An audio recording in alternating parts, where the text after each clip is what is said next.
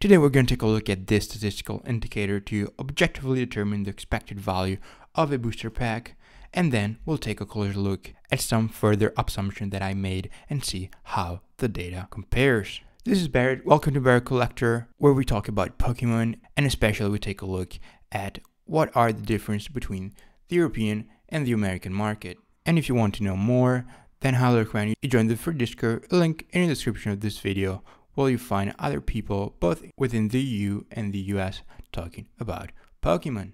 So on to the video. Today we're going to take a look at Lost Origin. So this is a similar video that we've made a few weeks ago where I talked about what is the real value of Pokemon 151. If you enjoy the format then I highly recommend you take a look at it. I basically got the pull ratio of a pre-trusted source as you can see here TCG Player Infinity, and then I extracted the, the current market price on TCG Player. Now, if we go straight into the data and take a look at it, we can see how I divided just for the sake of remind you guys what is within Lost Origin, Full Art Pokemon V, Full Art Trainer, Rainbow Rare, Secret Rare, Trainer Gallery Gnome V, Trainer Gallery, Gold and Black, Pokemon Ultra Rare, Radiant Rare, Ultra Rare VMAX V Star, Gold Secret Rare, Trainer Gallery V VMAX and Trainers, and then alternative are Pokemon. Now, initially I got the Excel sheet from a subscriber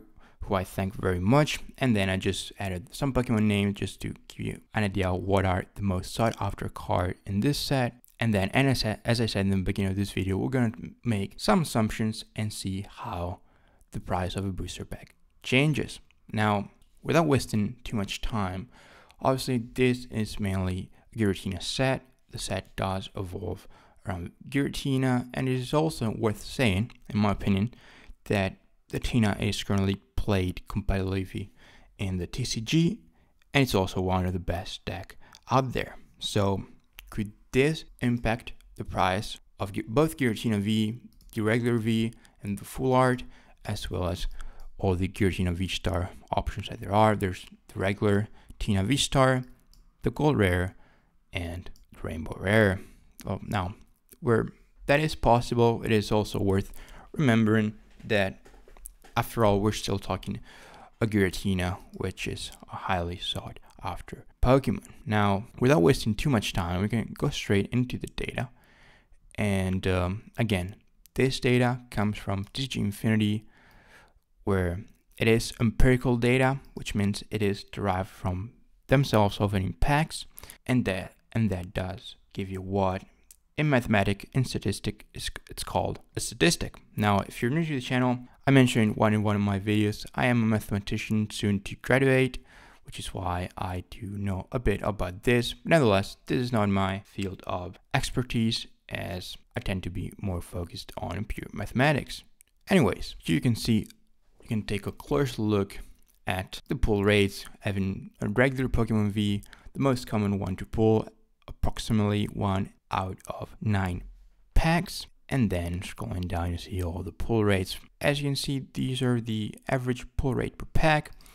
This is the average price for each and every one category, which is obviously derived as an arithmetic average of every single card within category and if you do that, then you are assuming that every card has the same pull ratio of any card within that set. What I mean by that, let's take regular Pokemon V. Then if you you say that the average price is simply the sum of all the value of a Pokemon V in Lost Origin, and then you divide it by the number of Pokemon V that there are, then you're saying that every card, every Pokemon V is equally distributed, which means you have same probability of pulling any Pokemon DV within the set, which might not be the case for everyone, so it is an assumption worth mentioning. But nevertheless, if the Pokemon Company did their job right, as we like to say in mathematics, when the number of packs you open, you just run that towards infinity, then this assumption should hold true. And then again, everything has been done the same for every rarity in the set. And then it comes down to an expected value. Again, these are estimations. These are derived on empirical data. So take this data with a pinch of salt. Nevertheless, it is in my opinion, and let me know, guys, in the comments if you agree with me, one of, if not the most objective way you can derive the actual value of a booster pack. And with that, you then can do all your sorts of consideration, whether you want to buy or not the box, you want a booster box, if you want to buy another type of sealed product, so on and so forth. Now, here just a little chart for rate per pack. Obviously, the, the chances of pulling a alternative art are the lowest, but then again, pulling a gold rare seems to be quite hard as well. Now let's move straight on to the next part of this video, which is myself making further assumptions and see how this number changes. Now, as I said here, honorable mentions are the Comfey, Sableye, Snorlax, and Cramorant that are usually played in the Lost Zone deck. And despite this card's being regular rare, they do hold some value. So could technically add a bit of value to the expected value of a booster pack, as well as you could do so by adding some value for the amount of bulk you're gonna get after opening X amount of packs. Now, that being said, again, this is an estimate, could be lower, could be higher, but considering we've not considering these regular rares as well as bulk, then you could potentially run this up to maybe a dollar and thirty. We'll have to do the math, unless this is an estimate.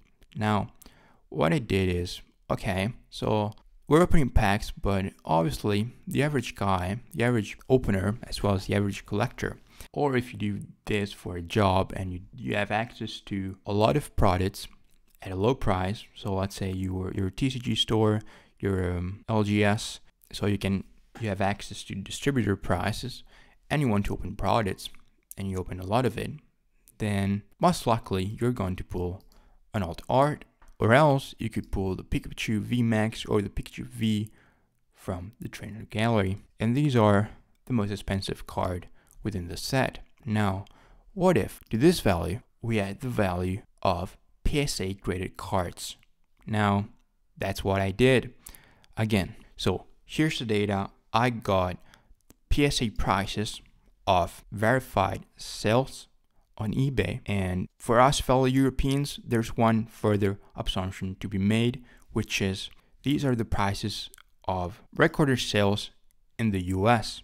Now, if you're American and you're not familiar with European market, usually a PSA graded card, no matter the grade, it does usually apply to higher grades such as 9s and 10s, or this also applies to BGS 9, 9.5 and 10s, sells for premium in the European market. Why? Well, there's no PSA nor Beckett in the EU, so it is quite complicated to have your cards or buy cards graded in the European Union from PSA and Beckett's, which again is why they tend to sell for a premium. So one further assumption that you can make if you live in the EU like myself and like and as we like to be focused on this channel also provide a European perspective, you could add a little bit of a premium on all these prices.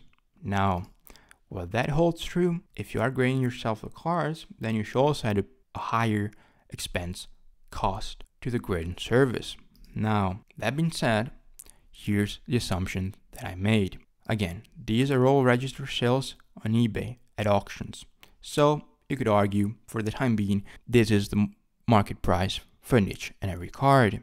Then I went to PSA, wrote down the PSA pop reports, and this is the probability of getting either a 9 or a 10. And here's another, you could argue it's, it's a bit of a strong assumption that I made. I would say it's a reasonable assumption, and here's why. So I assumed that you're gonna grade one of these cards only if you know you're gonna get a 9 or a 10.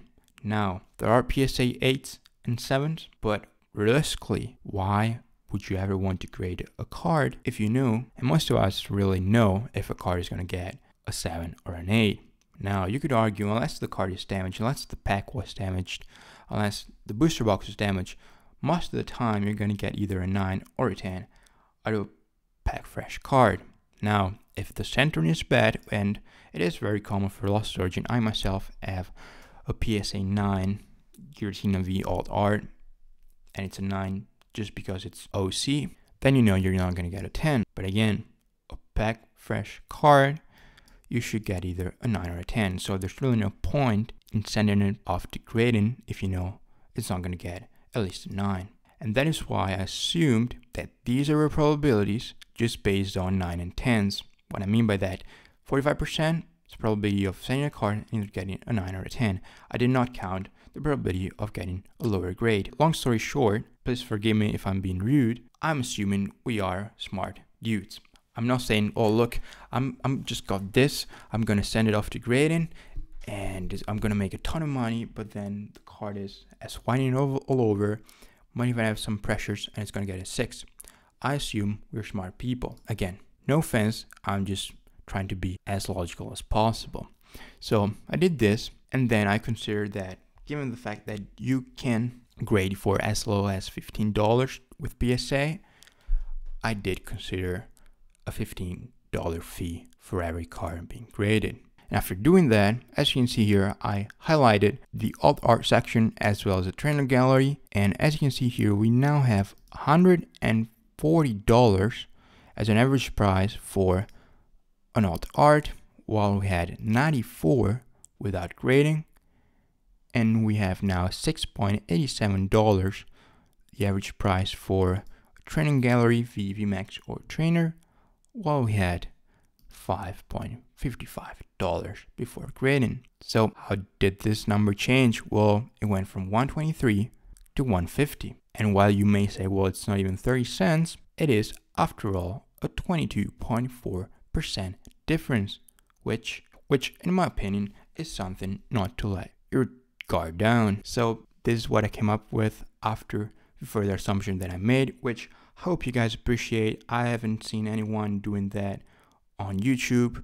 So if you do enjoy this format, please let me know down in the comments. As if you do, guys, I will make more and I'll cover more sets. And I'll try even to come up with further assumption that other people don't really think about. And I'll leave it with this data. I won't say anything about it. Up to you to decide what you want to do with it. Hope I'm providing some value. And then again, if you enjoy what you've seen, if you want to see more, then I would highly appreciate if you could subscribe to the channel, leave a like to this video, and I hope to see you soon on the Discord. Thanks for watching, I'll see you in the next one.